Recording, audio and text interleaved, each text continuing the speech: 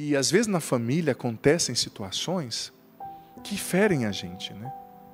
Mas olha, nós que somos cristãos, a gente sempre combate com duas armas quando a situação é relacionamento.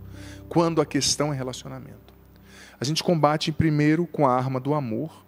O amor do cristão é um amor que não desiste.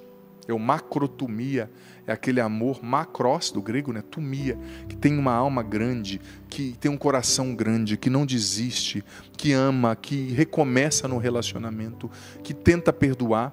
A primeira arma é o amor e a segunda é a oração. Porque tem coisas que só Deus pode fazer, sabe, filha?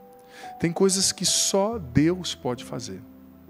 Talvez tocar o coração daquele membro da sua família que não fala com você, talvez reconstruir. E a gente tem que entender o movimento da graça de Deus, porque às vezes a gente pede para Deus assim: Senhor, reconstrói meu relacionamento com meu pai. E Deus proporciona uma situação através da qual você se afasta dele por um tempo. Por exemplo, você é transferida no trabalho, fica um mês fora. Fala, pô, Senhor, eu estava rezando para eu me aproximar e o Senhor me afastou.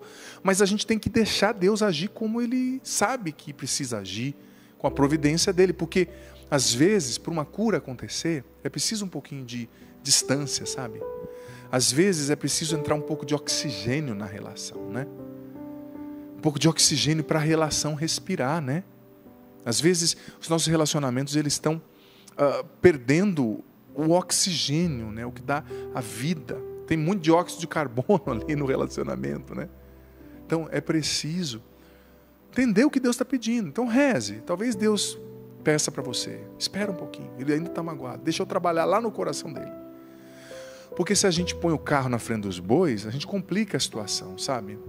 Tem um tempo de cada coisa. Né? E Deus sabe o tempo certo de fazer, o tempo certo de trazer a pessoa para perto, o tempo certo de afastar. Né? A gente tem que se deixar conduzir por Ele em tudo. Tá certo?